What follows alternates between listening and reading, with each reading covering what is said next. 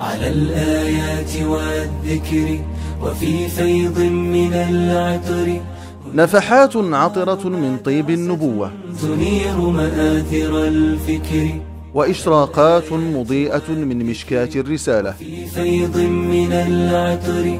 ننطلق فيها من عبق السنة المطهرة. تنير مآثر الفكر. لنلتمس طريق الفلاح في أجواء الشهر الكريم. ودرب جاد بالخير يعانقنا فيمنحنا جمالا مشرقا يسري نفحات نبوية.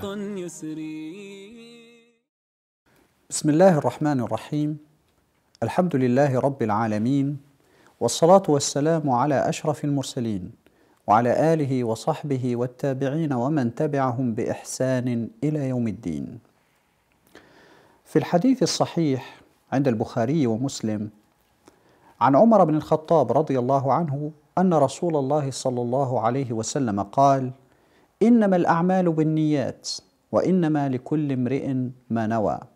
فمن كانت هجرته إلى الله ورسوله فهجرته إلى الله ورسوله ومن كانت هجرته إلى دنيا يصيبها أو امراه ينكحها فهجرته إلى ما هاجر إليه.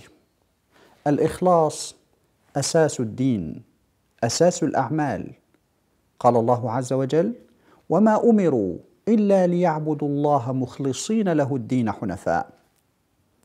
ونحن في شهر رمضان مقبلون بإذن الله عز وجل على عمل كثير. تصاحبه مشقة بالغة.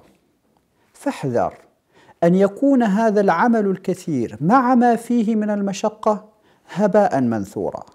كيف يكون هباء منثورا؟ كيف يكون غير مقبول عند الله مع ما فيه من الجهد والكلفة؟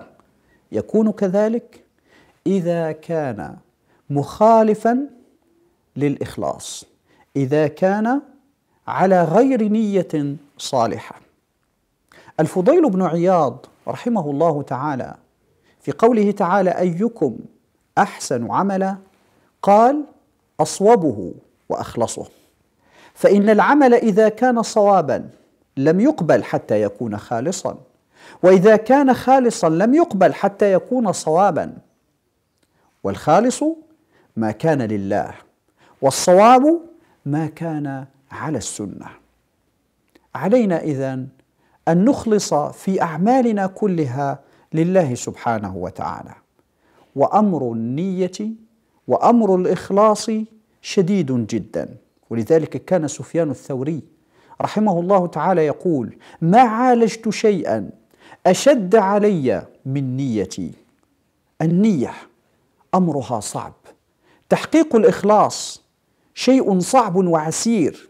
ولذلك نحتاج إلى جهد خاصة في شهر رمضان.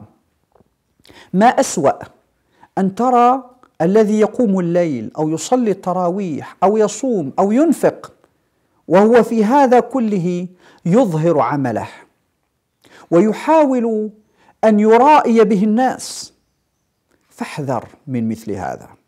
وإذا كنا نحذر من العمل لغير وجه الله عز وجل فكذلك نحذر من ترك العمل مخافة الرياء. بعض الناس يقع في هذا أيضا. يترك العمل مخافة أن يحسب هذا العمل على الرياء والسمعة وأن لا يكون خالصا لوجه الله. بل عليك أن تعمل وعليك أن تجاهد نيتك وأن تعالج نيتك.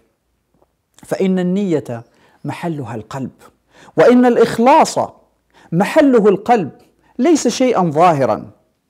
فاعمل العمل الظاهر وأخلص في عمل القلب الباطن. وبهذين يجتمع في العمل أن يكون صوابا وأن يكون خالصا وحينئذ فقط يكون مقبولا عند الله عز وجل. تقبل الله أعمالكم في هذا الشهر الكريم وإلى لقاء مقبل. بإذن الله عز وجل. على الآيات والذكر وفي فيض من العطر.